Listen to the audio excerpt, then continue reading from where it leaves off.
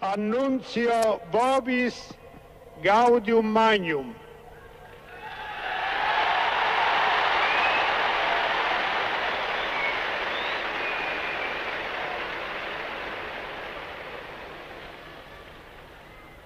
Habemus Papam.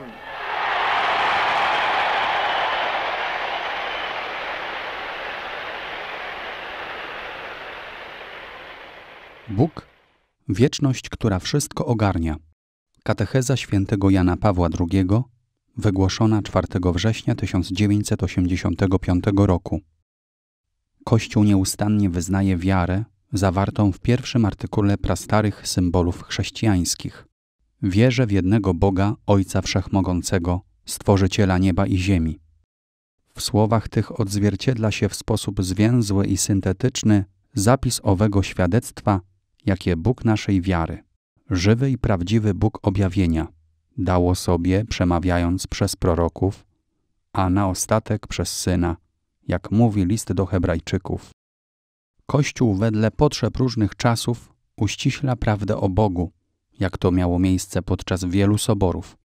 W tym miejscu pragniemy odwołać się do Soboru Watykańskiego I, którego wypowiedź była podyktowana potrzebą przeciwstawienia się błędom XIX-wiecznego panteizmu, a z drugiej strony materializmu, który wówczas zaczął przybierać na sile. Oto słowa Soboru Watykańskiego I. Święty Kościół wierzy i wyznaje, że jest jeden Bóg, prawdziwy i żywy, Stwórca i Pan nieba i ziemi, wszechmocny, odwieczny, nieogarniony, niepojęty, nieskończony w dziedzinie rozumu i woli oraz wszelkiej doskonałości. Będąc jednostkową, zupełnie niezłożoną i niezmienną duchową substancją, winien być określony jako różny od świata, w swej rzeczywistości i istocie sam w sobie i za siebie w pełni szczęśliwy i nad wszystko, co poza nim jest, i pomyśleć się daje, niewypowiedzianie wyższy. Łatwo zauważyć, iż tekst soborowy wychodzi od znanych nam pradawnych symbolów wiary. Wierzę w Boga, Stworzyciela nieba i ziemi, Wszechmogącego, rozbudowując to podstawowe sformułowanie nauką zawartą w Piśmie Świętym, w tradycji, a także w magisterium Kościoła. Ta widoczna w wypowiedzi Soboru Watykańskiego I rozbudowa idzie w kierunku pełniejszego niż to ma miejsce w dawnych symbolach uwydatnienia przemiotów bożych.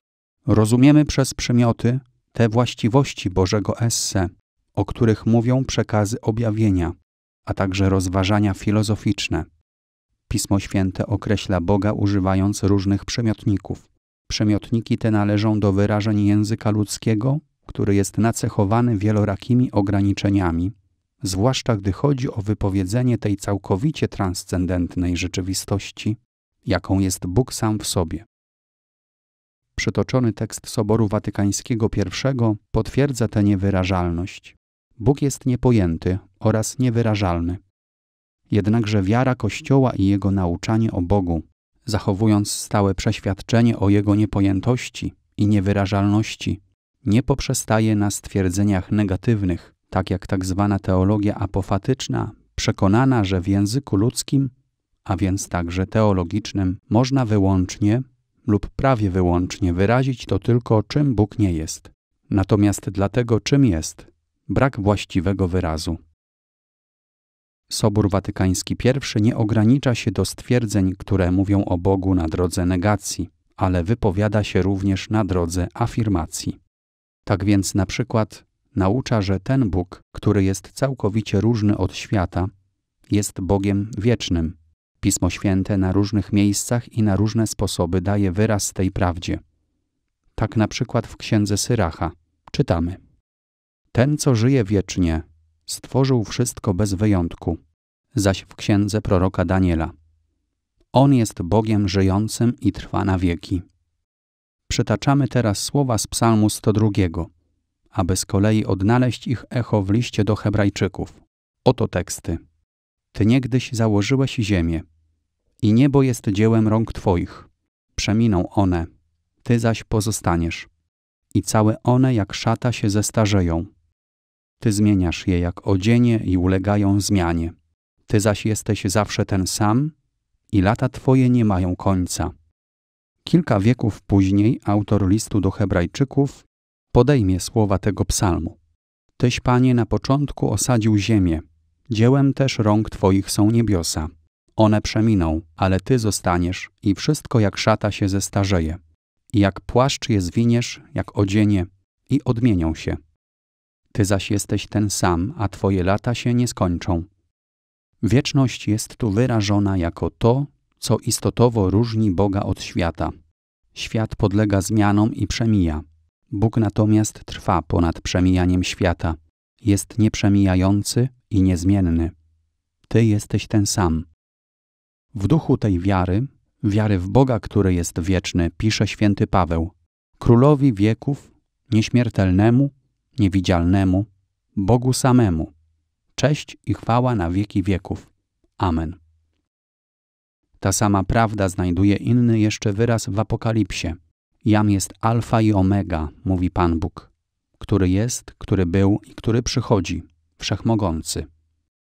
W tych przekazach objawienia znajduje także wyraz przekonanie naszego rozumu, do którego dochodzimy myśląc o tym, że Bóg jest istotą samoistną, a więc nieprzemijającą i wieczną, gdyż nie może nie istnieć, nie może mieć ani początku, ani końca, nie może podlegać następstwu czasu w jednym i nieskończonym akcie swojego istnienia.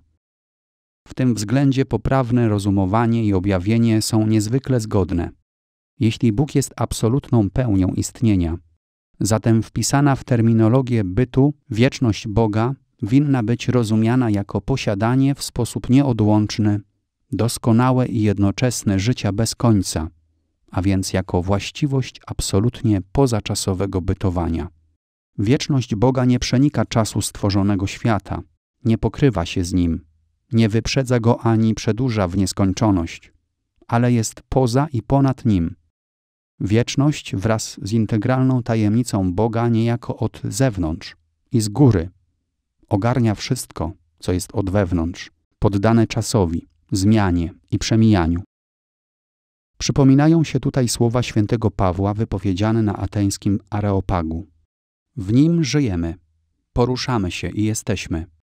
Używając metaforycznego wyrażenia od zewnątrz, stwierdzamy, że Bóg jest transcendentny względem rzeczy, a wieczny względem czasu, choć wiemy i potwierdzamy, że jest On istotą zawartą wewnątrz samego istnienia rzeczy, a więc także wewnątrz czasu płynącego jako następujące po sobie chwile, z których żadna nie wykracza poza granice Jego wieczności. Tekst Soboru Watykańskiego I wyraża wiarę Kościoła w Boga żywego i prawdziwego, który jest wieczny. Jest wieczny, ponieważ jest absolutną pełnią istnienia, a pełnia taka nie może być pomyślana jako suma zmieniających się w czasie fragmentów czy też cząstek istnienia, na co wyraźnie wskazują przytoczone teksty biblijne. Absolutna pełnia istnienia może być pomyślana tylko jako wieczność, czyli równoczesne i niepodzielne posiadanie tego istnienia, które jest zarazem życiem Boga. W tym znaczeniu Bóg jest wieczny, jest nunc, jest teraz, samoistny i niepodzielny, a właściwy mu sposób istnienia różni się istotowo od tego sposobu, jaki przysługuje stworzeniom, bytom przygodnym. Tak więc ten Bóg żywy, który objawił samego siebie, jest Bogiem wiecznym, Poprawniej zaś wyrażamy się mówiąc, iż ten Bóg jest samą wiecznością. Takiej formy wyrazu domaga się doskonała prostota istoty Bożej, omnino simplex, najzupełniej niezłożony.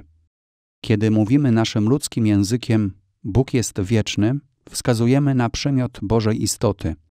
Jednakże żaden przymiot nie różni się rzeczowo od samej istoty Boga, tak jak różnią się przymioty ludzkie od człowieka, który je posiada, i dlatego mówiąc Bóg jest wieczny, myślimy właściwie Bóg jest wiecznością. Dla nas, którzy podlegamy prawom przestrzeni i czasu, ta wieczność jest niepojęta. Tak jak niepojęta jest istota Boża. Pozwala nam jednak odczuć także pod tym względem nieskończoną wielkość i majestat istoty Bożej, podczas gdy przepełnia nas radością myśl, że ta istota, wieczność, ogarnia wszystko, co stworzone i co podlega przemijaniu także nasze małe istnienie, każdy nasz uczynek, każdą chwilę naszego życia. W nim żyjemy, poruszamy się i jesteśmy. Powiedzieliśmy przed tygodniem, że Bóg jest dla człowieka poznawalny, a równocześnie jest niezgłębiony, nieogarniony dla naszych władz poznawczych. I nawet przez wiarę nie ogarniamy istoty Bożej, tajemnicy bóstwa, chociaż ją poznajemy. To, co odnosi się do istoty Bożej, odnosi się również do tak zwanych przymiotów Bożych, chociaż ściśle biorąc trudno jest odróżniać te przymioty od istoty, ponieważ Bóg jest w swojej istocie niezłożony. Można odróżniać przymioty od istoty w człowieku, w stworzeniu. W Bogu nie. Niemniej, kierując się poznaniem istoty Bożej, tym poznaniem, które daje nam Bóg sam, bo On sam siebie objawia przez proroków, przez Jezusa Chrystusa, tym poznaniem, którego zapis znajdujemy w Piśmie Świętym, także w tradycji i nauczaniu Kościoła, można mówić o przymiotach Bożych.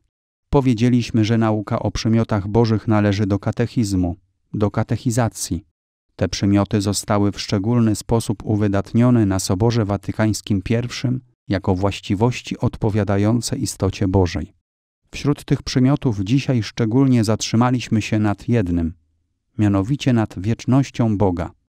Bóg jest wieczny, tak mówimy, chociaż słuszniej byłoby powiedzieć Bóg jest wiecznością. Świadczą o tym różne teksty Pisma Świętego w Starym i Nowym Testamencie.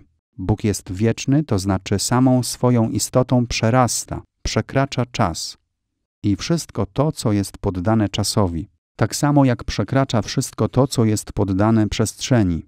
Jest absolutnie różny od świata, w tym znaczeniu transcendentny. Wieczność to właśnie ta pozaczasowość i ponadczasowość Boga, która równocześnie ogarnia nasz czas i wszystkie jego szczegóły, wszystkie momenty, ogarnia do samej głębi, jak to świetnie wyraził święty Paweł na Areopagu ateńskim, mówiąc, że w nim żyjemy, poruszamy się i jesteśmy.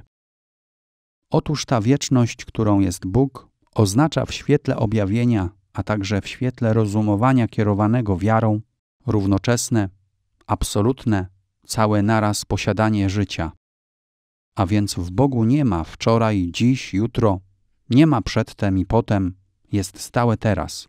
Równocześnie to teraz jest nieskończone. Nasze ludzkie teraz, stworzone teraz jest zawsze mgnieniem.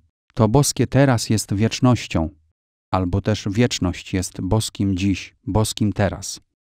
Starajmy się przez rozważanie tych prawd podstawowych o tajemnicy Boga coraz głębiej wnikać w te tajemnice, coraz głębiej ją czynić własnością naszej ludzkiej inteligencji, naszej ludzkiej świadomości i naszego ludzkiego postępowania, albowiem ten Bóg, który jest poza czasem i przestrzenią, który ogarnia wszystko, co stworzone, jest równocześnie stworzycielem nieba i ziemi i naszym Ojcem, który zaprasza nas do zjednoczenia z sobą, zaprasza nas do obcowania z sobą już tu, a w pełni w wieczności, w swojej Bożej wieczności, która jest dla nas niepojęta. Proszę bardzo przekazać moje pozdrowienie i błogosławieństwo wszystkim rodakom w ojczyźnie, każdej parafii, z której pochodzicie, każdej diecezji i całej Polsce. Pater noster,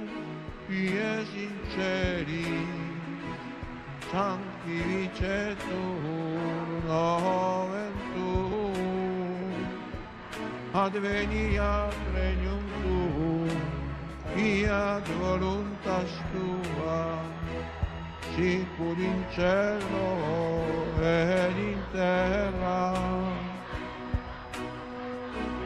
Pane nostrum quotidianum da nobis hodie, dimitte nobis levita nostra, et nostri vittimus, debitoribus nostri, et ne nos induca in tentatione, sed libera nos a